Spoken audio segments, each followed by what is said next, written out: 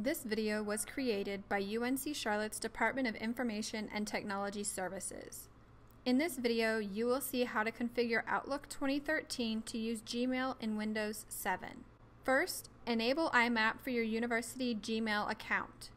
See the FAQ about enabling IMAP for more details. Next, open Outlook.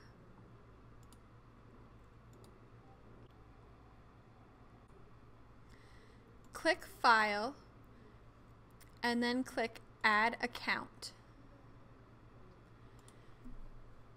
Enter your name and then provide your full university email address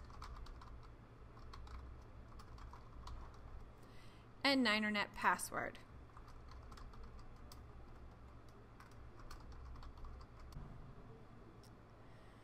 Click Manual Setup or Additional Server Types and click Next. Select POP or IMAP and click Next. Select IMAP account type and type imap.gmail.com for incoming mail server and smtp.gmail.com for outgoing mail server. Enter your full university email address and NinerNet password. Click More Settings.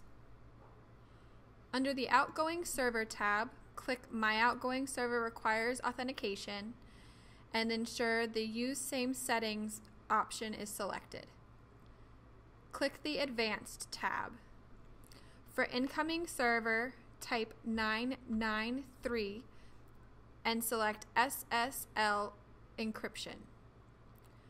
For outgoing server, select SSL encryption and type 465 server. Click OK. Click Next.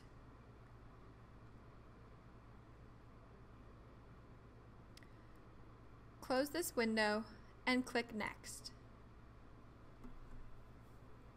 Now your mail will begin to populate. Click the instructions in the Tell Me section below if you had Outlook set up to work with your old email before. For more information about campus IT services, visit our website at itservices.uncc.edu.